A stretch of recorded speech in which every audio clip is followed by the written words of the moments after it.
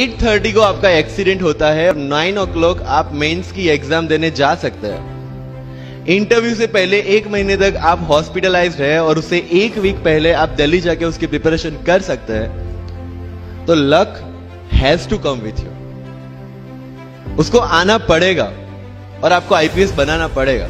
मैं एग्ज़ाम के लिए निकला, मेंस मेरा था, सुबह जीएसटी का पेपर था। 8:30 को मेरा स्कूटी स्लिप हो गया, मेरा लिगामेंट इंजरी हो गया, लेफ़्ट हैंड में इंजरी था, सीट से ब्लीडिंग हो रहा था। लेकिन मेरे पास दो ऑप्शन थे। मैं खड़ा हुआ, मैंने देखा okay my right hand is safe and I decided I go to the exam hall and write the exam मेरे पास दो ही ऑप्शन थे।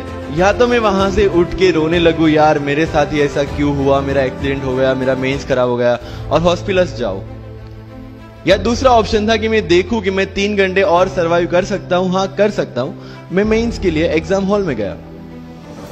ये जितने भी फोटोग्राफ्स लगे हैं, सर ने जैसे बताया कि जितने भी इंसान सक्सेसफुल हुए, अगर आप उसकी लाइफ स्टोरी देखेंगे तो कहीं ना कहीं एक मोमेंट आता है जहाँ पे वो इंसान की जो स्ट्रगल है, वो पीक पे हो जाते हैं।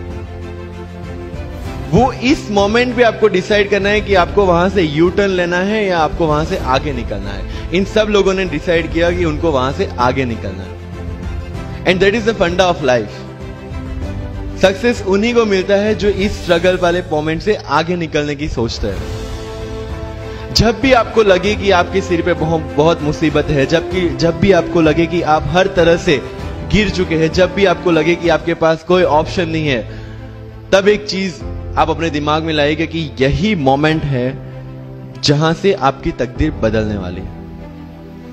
क्योंकि डायमंड जो होता है, वो जितना ज़्यादा घिसता है, उतनी ज़्यादा उसकी वैल्यू होती है। सोना जो होता है, वो जितना ज़्यादा तपता है, उतनी उसकी वैल्यू होती है। अगर आप ज़िंदगी में तप रहे हैं, अगर आप ज़िंदगी में घिस रहे हैं, अगर आपको लग रहा है कि आप हर तरह से मुसीबतों में गिरे हुए हैं, तभी आपकी जो वैल्यू है, वो बढ़ने वाली है।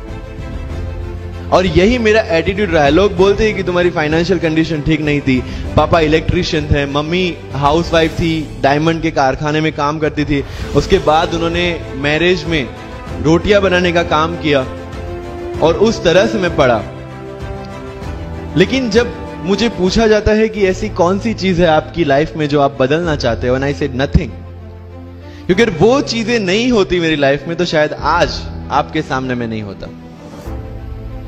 तो अगर लाइफ में प्रॉब्लम्स है, अगर लाइफ में स्ट्रगल है, जैसे सर ने बताया struggle is part of life and I strongly believe in that Bharatvarsh का सपना चंद्रगुप्त ने देखा, चाणक्य ने देखा और उस भारत वर्ष को बनाने के लिए जब ये संघर्ष जारी था और तब राजा धनानंद की डॉटर दूरदराज से चंद्र चंद्रगुप्त को प्यार हो जाता है और जब चाणक्य उनको बोलते कि नहीं, तुम्हें उससे दूर रहना है तब चंद्रगुप्त बोलता है, आचार्य कभी कभी सोचता हूँ कि ज़िंदगी में या ये भारत के सम्राट बनने के लिए इतना त्याग, इतना बलिदान ना देना होता तो। और तब चाणक्य रिप्लाई करते हैं तो हर कोई भारत का सम्राट होता। This is the fundamental rule of life अगर आईएएस बनने के लिए आईपीएस बनने के लिए सेक्रीफाइस करना नहीं पड़ेगा, अगर उसके लिए आपको त्याग नहीं करना पड़ेगा तो आज पूरे इंडिया में हर घर में आपको आईएएस आईपीएस मिल जाएँगे। मुझे एग्जैक्ट डेट याद है ट्वेंटी मार्च को मेरा इंटरव्यू था।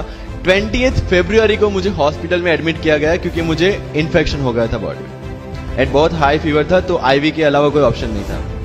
फ़र्स्ट ऑफ़ मार्च को ठीक होके मैंने सोचा, चलो दिल्ली निकलते हैं। सेकेंड ऑफ़ मार्च को मैं दिल्ली पहुँचा। थर्ड मार्च को वापस से टॉन्सिलाइटिस का अटैक होने की वजह से फ़्लाइट लेके वापस से Palanpur, Ahmedabad. Again hospitalisation fifteenth of March को I got relieve from the hospital sixteen of March को मैं दिल्ली पहुँचा। और ट्वेंटी थर्ड ऑफ़ मार्च को I gave my UPSC interview तो एक महीने का हॉस्पिटलाइजेशन उसके बाद जब दिमाग में ये था कि मेरे साथ जो लोग इंटरव्यू दे रहे हैं, वो एक महीने से प्रिपरेशन कर रहे हैं। एंड एक महीने से मैं हॉस्पिटल हॉस्पिटल में था। Again I thought this is the moment to prove your self I went to the interview और पूरे इंडिया में second highest marks in interview